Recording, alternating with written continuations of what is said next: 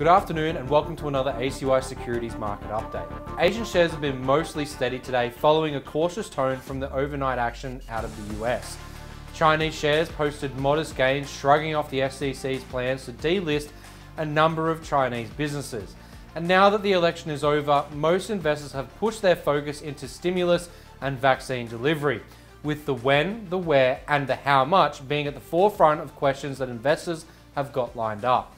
The key moves today had the S&P 500 index fall 0.5%, the Topix index dropped 0.6%, while the ASX moved up 0.4%, as did the Hang Seng, which is also up 0.6%.